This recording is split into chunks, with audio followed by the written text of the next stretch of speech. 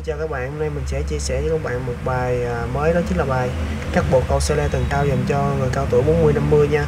Với lại bài này thì các bạn có thể cắt đằng sau hoặc đằng trước trước cũng được nha các bạn. Thì mình sẽ bắt một tép cuối cùng, một cái lớp cuối cùng đằng à, sau mình sẽ cắt trước. Bên tay phải thì mình sẽ đưa ra trước. Nếu như các bạn muốn phơm màu nhiều các bạn sẽ đưa ra càng trước càng nhiều các bạn. Mình sẽ tạo khung trước. À. Đây là mình sẽ cắt độ à, 90 độ ngang nha các bạn khi mà mình cắt xong lớp thứ nhất mình sẽ hạ lớp thứ hai xuống mình sẽ cắt điểm gai chuẩn là lớp thứ nhất cắt lớp thứ hai. Mình sẽ bắt một tép giữa ra trước mình sẽ chia ra một tép giữa trước mình sẽ đưa ra cắt 90 độ ngang. Lấy lớp thứ nhất làm gai chuẩn cắt lớp thứ hai. Tiếp tục bên phải. Đó các bạn. Thì à, tóc này mình sẽ cắt phơm vừa thôi bầu vừa thôi. Không mình không có cắt à, quá nhọn nha các bạn. Thì mình sẽ mình sẽ chỉ cắt xéo vừa thôi nha sau khi mình cắt lớp thứ hai mình sẽ lấy lớp thứ ba nè, mình sẽ cắt tiếp lớp thứ ba mình sẽ lấy lớp thứ hai làm chuẩn. Gai của lớp thứ hai sẽ so điểm chuẩn với lớp thứ ba. Lấy một điểm giữa cắt cắt trước sau đó mình sẽ cắt từ bên cắt bên phải và cắt bên trái ha. Các bạn lưu ý với mình nha khi cái mình cắt mình phải uh, so điểm à, so cái độ ngang so cái độ uh, độ mình muốn cắt là 90 độ ngang hay là 15 độ 45 độ hay là 15 độ trên ha các bạn thì đối với tóc này thì nó hơi ngắn cho nên là mình chỉ giật tầng cao ở cái lớp cuối cùng nha các bạn. Mình không giật tầng cao ở lớp thứ hai và lớp thứ ba. Lớp thứ hai và lớp thứ ba mình nên cắt 90 độ ngang thôi. Còn cái lớp cuối cùng này là mình sẽ cắt cao lên. Mình sẽ để là 45 độ trên, mình sẽ cắt thôi các bạn. Ừ. để cho cái tóc này, lớp tóc này nó sẽ bung, nó giật tầng cao. Khi mà bung giật tầng cao thì nó sẽ nhờ cái lớp cuối cùng, cái lớp cuối cùng nó là, nó nó sẽ là cái mà quyết định để mà đặt đập vào con mắt mình. Người ta sẽ thấy là à cái tóc này nó giật bung tầng cao lên. Là do cái lớp cuối cùng nó cao lên, nó so le cao, nó so le tầng cao. Thì mình mới thấy được nó giật nó giật cao lên ha các bạn? Các bạn à, thấy mình cắt không? Bên à, ở giữa mình cắt 45 độ thì, độ trên thì bên phải và bên trái đều cắt 45 độ trên hết nha các bạn. Bây giờ mình sẽ cắt phần đằng trước. Mình sẽ tạo khung cho phần đằng trước ha. Cái phần đằng trước thì các bạn sẽ so điểm chuẩn. Các bạn muốn điểm chuẩn của nó là ở ngang má hoặc là dưới dưới cầm ngang cầm hoặc dưới cầm một chút xíu thì các bạn có thể cắt nha. Còn mình thì bây giờ là mình sẽ cho cái điểm chuẩn này của mình nó sẽ ở dưới cầm, mình sẽ trượt. Khi mình cắt điểm chuẩn ở dưới cầm xong, mình sẽ so cái độ tầng, mình sẽ cắt. Ha các bạn, so độ chuẩn tầng của điểm chuẩn rồi mình cắt. Bắt đầu mình sẽ bắt lớp thứ hai.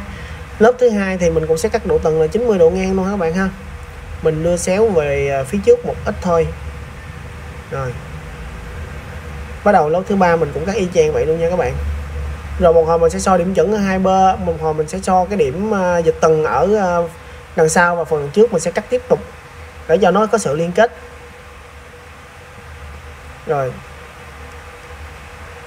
Các bạn nhớ nếu như mà những cái tóc này ngắn quá thì các bạn đừng có nên cắt độ tầng cao nha. Các bạn cắt độ tầng mà từ dưới, lớp thứ nhất, lớp thứ hai mà các bạn đã cắt cao độ tầng lên rồi thì cái lớp thứ tư chắc chắn nó sẽ bị mất tóc rất là nhiều nha các bạn mình sẽ trượt trượt kéo để so cái độ điểm ờ, điểm chuẩn nha các bạn. Các bạn muốn điểm chuẩn của nó nằm ở trên má hay là ở dưới dưới ở dưới ờ, cầm hoặc là ngay cầm. Cái đó là do các bạn uh, xác định điểm chuẩn. Tùy theo con mắt của các bạn các bạn nhìn cái uh, cái uh, cái khuôn mặt của khách như thế nào. Tròn nhiều hay là tròn vừa thì các bạn sẽ cắt cho nó cúp vô nhiều hay là cắt cúp vô vừa nhìn cho khuôn mặt người ta được thanh thoát hơn nha các bạn. Rồi lớp thứ ba mình cũng sẽ lấy điểm chuẩn lớp thứ hai làm chuẩn rất tóc thì mình sẽ lấy cái gai đó mình sẽ cắt nha các bạn. Nếu như mà người ta có muốn cắt cái máy bay á, thì các bạn phải chia giữa ra các bạn cắt máy bay ha. Rồi bây giờ các bạn sẽ so các bạn sẽ so hai bên. Nếu như các bạn mà cắt đúng thì hai bên nó sẽ đều nhau. Nếu như chưa đều nhau bên nào dài hơn các bạn sẽ so lại. Bên nào dài hơn các bạn sẽ cắt ngắn lại một chút xíu.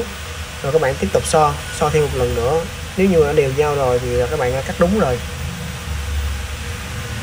Ừ.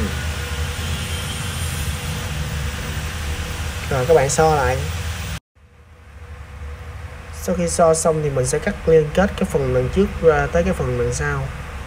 Bỏ cái lớp ngọn nhẹ mình. Sau khi so đều hai bên liên kết rồi thì các bạn sẽ cắt cái phần ờ, khung hình chữ nhật. Cái khung hình chữ nhật này là một cái điểm trung tâm giao nhau giữa ba phần phần sau, phần bên trái và bên phải và của lớp ngoài cùng. Cho nên khi mà các bạn cắt hết rồi, các bạn phải so lại cái điểm trung tâm này. Để cho khi tóc tỏa ra, nó sẽ đều hết hai phần bên trái, bên phải và đằng sau nha các bạn. Và bây giờ mình sẽ so lại thêm một lần nữa. Ở phần bên phải 45 độ trên, mình sẽ cắt cắt thêm một lần nữa. Tại vì phần đằng sau cái lớp ngoài cùng trên cùng thì mình đã so 45 độ trên rồi. Thì bên phải, bên trái, bên phải gì, cái lớp ngoài cùng mình cũng sẽ so lên 45 độ trên luôn. Cho nó liên kết đều nhau ha các bạn ừ rồi sau khi mà mình so xong rồi, mình sẽ chỉnh lại cái khung để mà cái phần khung nó đẹp mềm mại lại nha các bạn.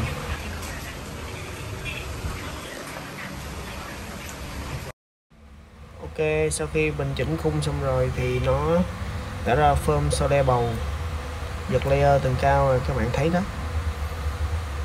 Rồi bây giờ bắt đầu mình uống